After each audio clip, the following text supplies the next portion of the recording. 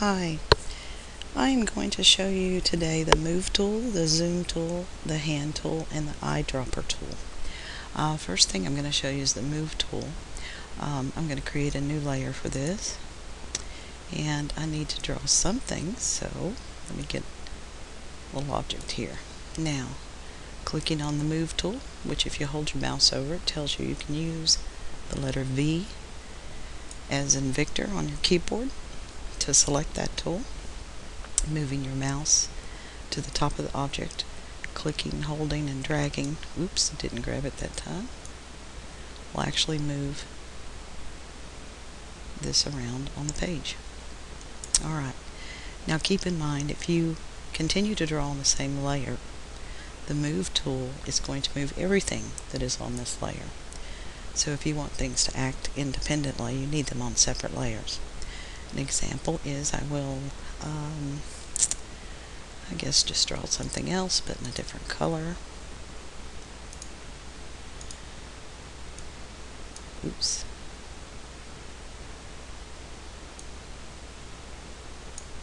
Now, you can see I draw perfectly in this program. Okay, move tool again. See how they're both now selected. So, oops, I cannot get my mouse move anything. Let's try that again. There we go. I think I'm having some memory issues, I'm running too many things again. Anyway, now the zoom tool. Click on the zoom tool.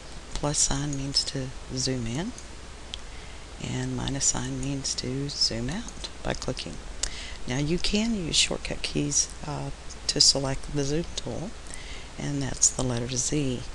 Now to actually zoom in and zoom out, um, Control plus zooms in, Control minus zooms out. Um, you can also use the navigator to zoom in and out uh, using this slider or the buttons. And if you have it uh, zoomed in quite a bit, uh, you can actually move your mouse to this little red box and a hand tool appears. You click and you can drag to move it around. And then that way you don't lose your focus because you have the navigator over here on the right. Alright, get this to where you can see everything again. Okay, hand tool.